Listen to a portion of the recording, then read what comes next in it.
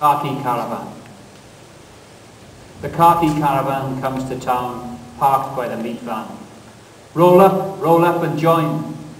The sergeant circus master tries to persuade a young man, telling him about the high wire. There are no pictures of what happens when you fall, when there is no net. There are no descriptions of the crippled, limb torn or dead, only the war paint of the clowns. I wonder what would happen if this caravan became combined with the butchers next to it. If the body parts of soldiers were those joints of meat, kidneys and liver their entrails. And if the sergeant's rallying cry were, going, going, gone, a leg of man, would that jobless youth still sign? Man business. Companies were invented by men to make money by exploiting people who need to work for them. Companies sell what we make, reaping the surplus, raking in the profits of our labour from ourselves. Companies are bastards who can be denied and abandoned by the man who spawned them.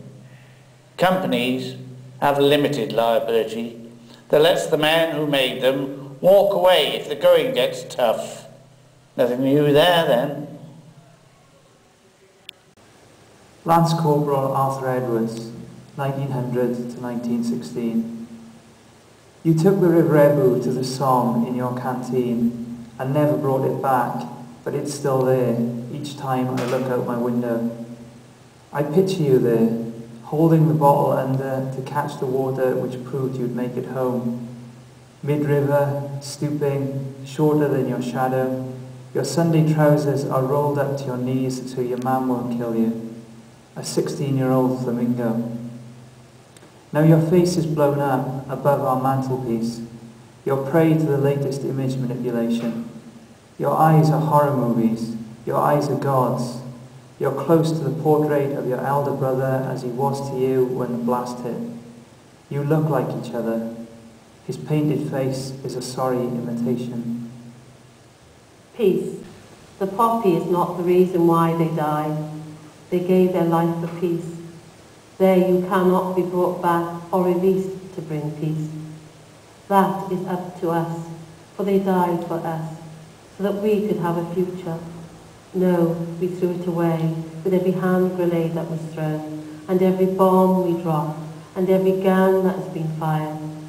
We were meant to be inspired, to reflect and remember, planting a tree, building a monument in memory. This is not the reason why they die. It is just another lie. While they who are supposed to know why decide. Who entice, manipulate and take from deprived council estates. To faraway lands where we wear the watch and they have the time. Where you are sent to fight in their backyard the dry, arid terrain with the mountainous view, for all the green is gone. The only colour is the flower, the one you wear on your lapel jacket, dress or blouse.